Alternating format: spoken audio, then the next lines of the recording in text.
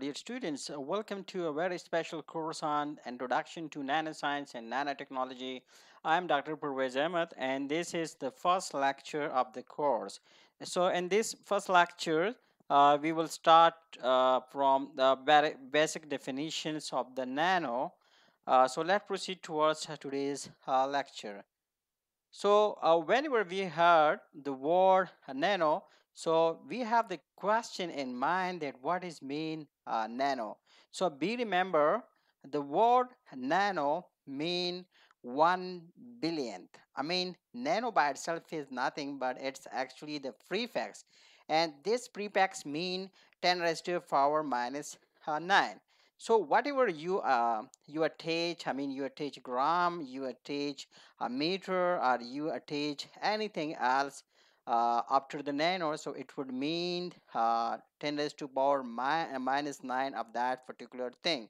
So if you let's suppose if you want to attach meter uh, after nano or you put a prefix nano before the meter so it will mean uh, nanometers. So if you attach gram uh, after the nano so it would means uh, nanogram and so on. So what actually nano uh, nanometer means uh, nanometer means 1 billionth of a meters. So just like that, if you put something else, I mean, instead of meter, you put a gram, so it would mean nanogram. The nanogram would mean 1 billionth of a gram. Similarly, if you put, uh, I mean, uh, second, I mean, that is for the time, and you say that you have, instead of meter, you say you have uh, nanosecond. So nanosecond would mean 1 billionth of a uh, meter. So in scientific terms, uh, I mean, uh, you want to have uh, the scales of nano in term of uh, scientific terminologies. For example, in science we have, uh, I mean, uh, we have human hair. So if we refer the length scale that, that of nano in term of a human hair, so a human hair has the diameters as small as 10,000 nanometer. So that is how scientifically you relate the length of a human hair. And this, this is the typical uh, same image of the human hair. So this is the brief introductions of uh, a nano. So let me uh, let me uh, try it again. Uh, let me repeat it again. What is mean by nano? Uh, nano by itself is basically a prefix which means one billionth. So this prefix, if you attach uh, is uh, with a meter, so it would mean nanometer, and nanometer mean one billion of a meter. Similarly, if you attach that uh, prefix with the uh, uh, with the times unit that is second, so it would mean nanosecond, and nanosecond would mean uh, one billionth of a second. If you take that uh, with the gram, so it would mean uh, nanogram, and nanogram would mean one billionth of a uh, gram. And scientifically, if you utilize uh, the term nano and you want to measure something uh, that is well known to you, for example, the human hair, so uh, the diameter of human hair is equal to 10,000 uh, nanometers. So let be a more uh, a bit more specific about the nano. So for that, you can consider the example of a child. You can see it here in this particular figure. So here you can see that this child, uh, at height, the, the, height of this child is about uh, one meter.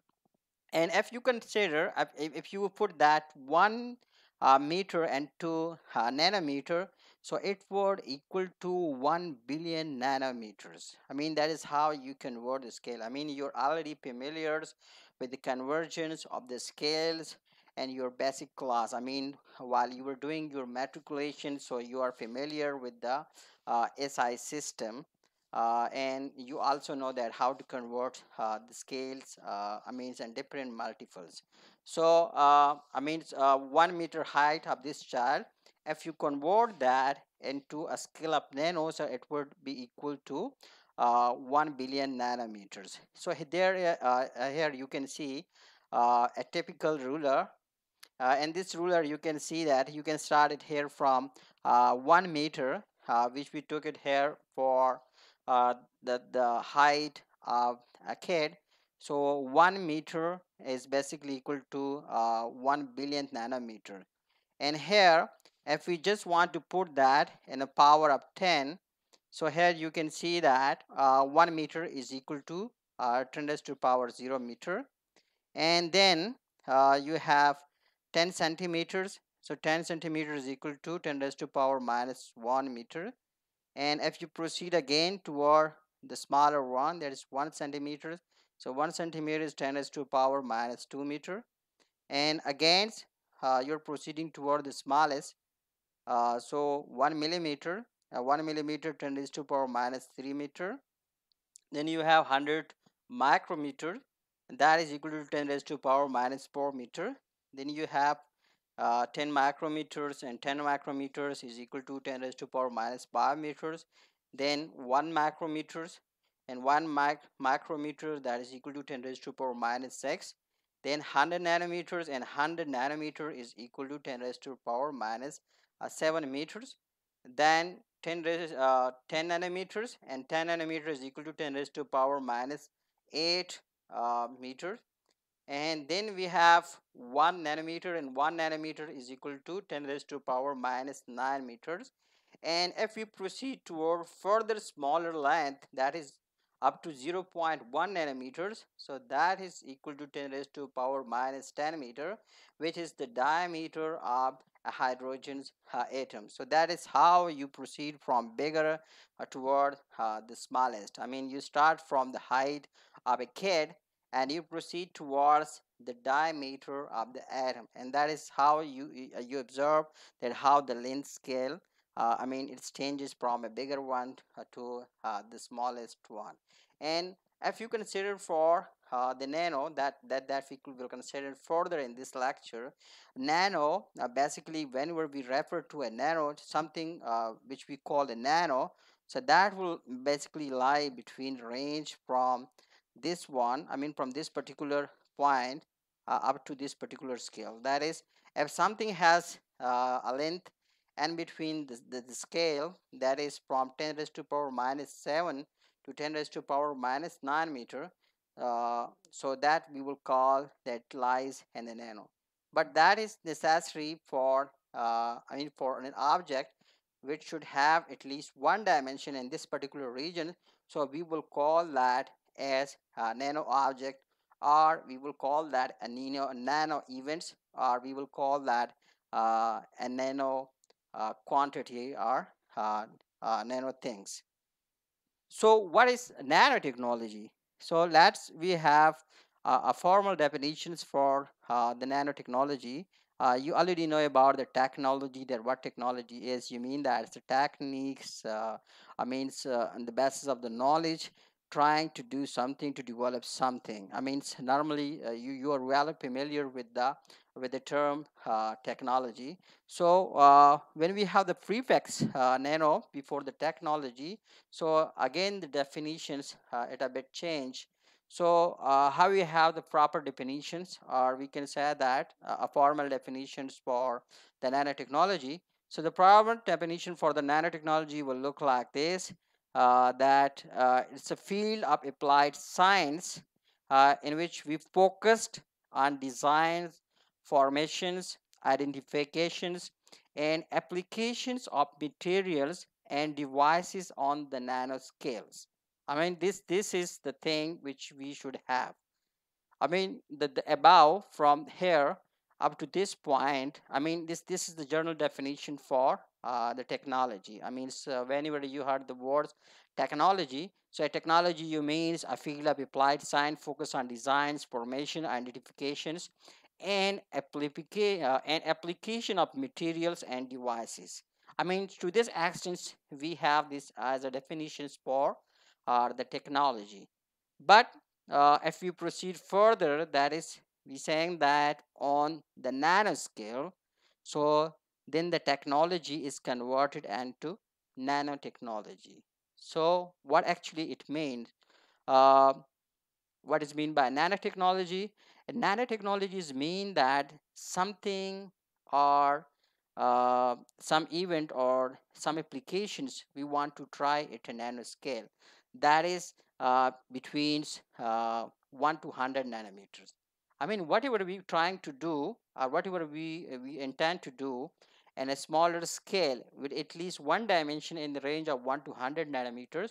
So we call that uh, we call that it lies in the field of uh, nanotechnology. And we remember here we have one thing that is a field of applied science. I mean, we have the sciences uh, like we have biology, uh, we have chemistry, we have physics. I mean, all of these that, that, that are sciences but out of these sciences uh, some of the sciences i mean uh, are those uh, where can be uh, which can be applied in a practical life. So here uh, nanotechnology uh, is basically the applied field of science. And we remember later on we will define it in full detail that nanotechnology it counts all the uh, the sciences here. I mean it's it's, uh, it's combined physics uh, with biology uh, it combined chemistry with the physics uh, it, it combined computer science with the physics and so on. Uh, in short words we can say that it's a multidisciplinary field. I mean where we unite all the field into a single field. I mean by itself simply we can say that uh, nanotechnology by itself, uh, it's not a new field. It's basically a field that is the combinations of all the other field. I mean, it's include physics, it include chemistry, it include biology, it can it include computer science, it include uh, engineering, and even in some action we can say that it also include the fine arts. So uh, this is something uh, informal you have about uh, the nanotechnology. So that is uh, what is nanotechnology? All the technology that we want to develop or we want to do or we want to accelerate or we want to focus uh, at a nanoscale so uh, that basically means nanotechnology i mean the technology that you want to do or you want to apply or you want to develop at the nanoscale so we call that nanotechnology. So the only difference is the scale. So now we have the questions that uh, we, de we define nanotechnology. Uh, we mentioned uh, some important fact about nanotechnology. Uh, and we also mentioned about that what actually the materials that we call uh, nanomaterials are. So now the question is that how we can make the nanomaterial or how we can synthesize the nanomaterials or in short terms what are the methods of making the nanomaterials or the, the nanoparticle? So uh, we basically have two big approaches. The first one is called the top down approach or the top down methods. So what actually we, we do in these methods uh, in this technique normally we have uh, some uh, big object or we have a heavy object. And that heavy object or big size object we cut it into smaller and smaller pieces until we reach to the nanoscale region or we, we reach to the nanoscale uh, dimensions. So that is called top down uh, uh, approach. I mean we, we we get the thing and a bigger size and a bulk i mean a larger size and we cut it down to a smaller scale. And then we have another approach uh, which is called bottom up.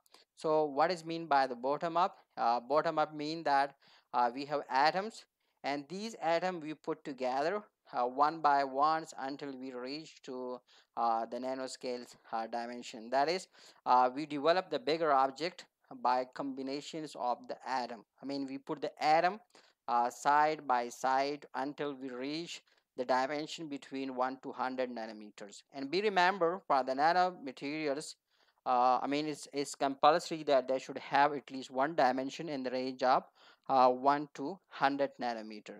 So uh, what we have in short in short uh, if we have a big object and we cut that into pieces to bring it into nanoscale regions so that particular method is called top down methods. And bottom up approach or bottom up technique is the one in which we combine atoms side by side. Uh, we want to grow materials from a smaller scales until we reach to uh, the nanoscales uh, dimensions.